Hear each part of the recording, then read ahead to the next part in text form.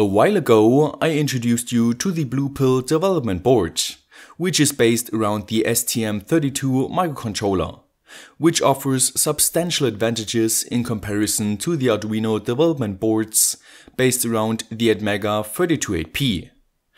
But of course, the STM32 is not the only competitor in the microcontroller departments, is what Texas Instruments was probably thinking while they were sending me their TI RSLK kits, which stands for Robotics System Learning Kits. In a nutshell, this kit got all the components to create your own little robots, but also offers more advanced learning modules to make your robots even smarter than ordinary ones, which is a great engineering learning exercise.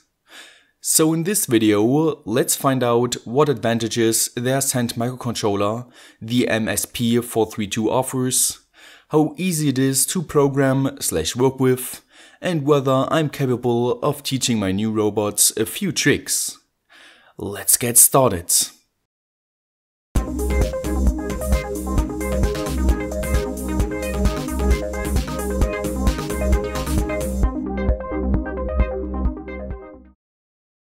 This video is sponsored by Texas Instruments.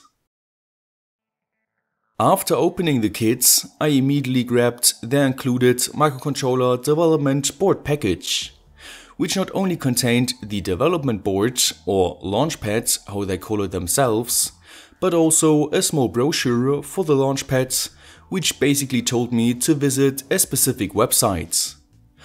On the site, I noticed right away that the price of $20 for this board is definitely a bit higher than the price of an Arduino development board.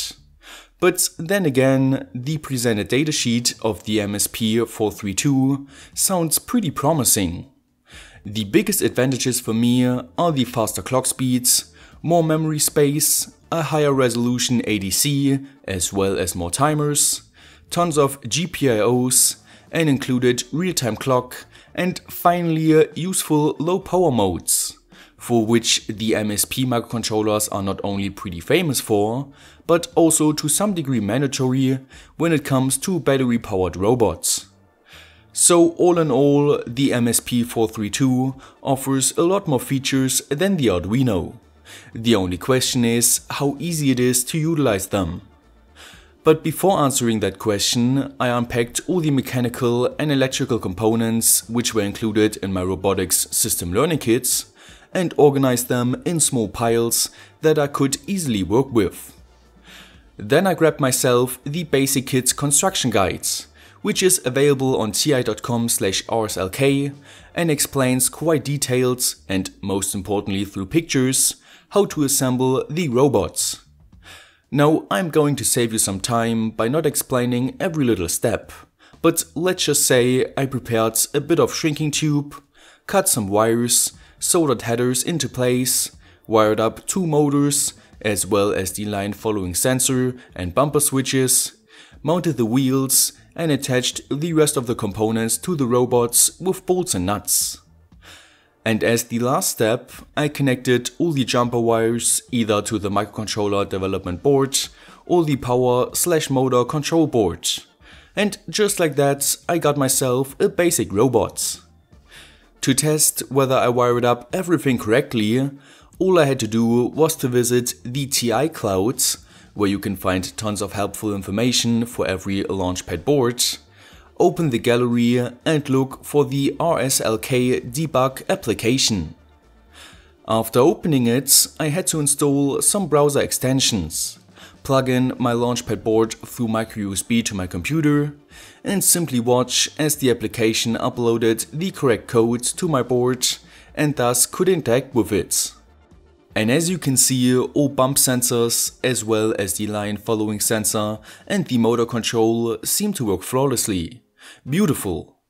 But how exactly can we create our own code for the development board? Well, there are two big options. The curriculum uses CCS, which stands for Code Composer Studio, which I will get to later in order to access some more advanced functions of the MSP432. But due to the recommendation of a TI colleague, I started with Energia, which is an open source software with the goal of bringing the Arduino and wiring framework to the Texas Instruments launchpads. So I went ahead and downloaded the latest version of it, which I then extracted. After starting the software, I opened its board manager in order to download the files for the MSP432 boards. And just like that, we could open the notorious Blink example sketch and upload it just like that to the board without changing anything. And it would work. Now, as you would expect, this IDE can be worked with just the same way as you would use the Arduino IDE, which makes it super easy to use.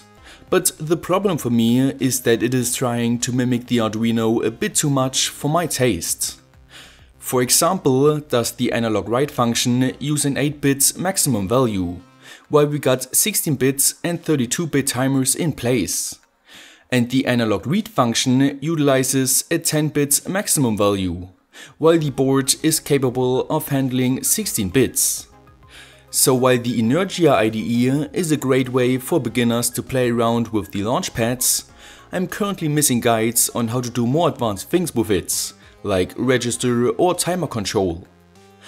The next problem is that the TI RS-LK kit is not officially supported by Energia yet, but luckily a TI colleague hooked me up with a rather unpolished library, which I downloaded and included. The reason why I said unpolished was that after uploading a couple of provided example sketches for the robots, it seems to not do anything at all after pushing the start button. After doing a bit of investigation, I noticed that the pins which were assigned in the library do most of the time not correlate with the pins mentioned in the build guides.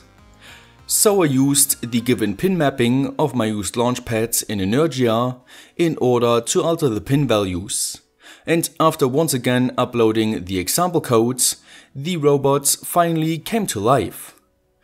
Now by using one of the more complex example codes, I was able to create a simple white line following robots, which was certainly an awesome learning experience. And since my robot is now alive, how exactly can we access some more advanced functions of the MSP432? For that, I firstly downloaded and installed the SimpleLink MSP432 SDK, whose quick start guide recommends to use the CCS software. After downloading slash installing it by following the already mentioned guides, I opened the software and honestly had no idea what to do. Thankfully though, the software included a resource explorer, where I was able to choose my Launchpad version and immediately got access to a few interesting and more complex examples for the board, like deep sleep power modes or timer control.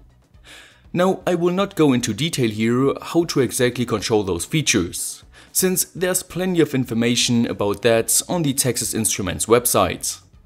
All I want to say about this Code Composer Studio is that it definitely takes a bit of time to get used to.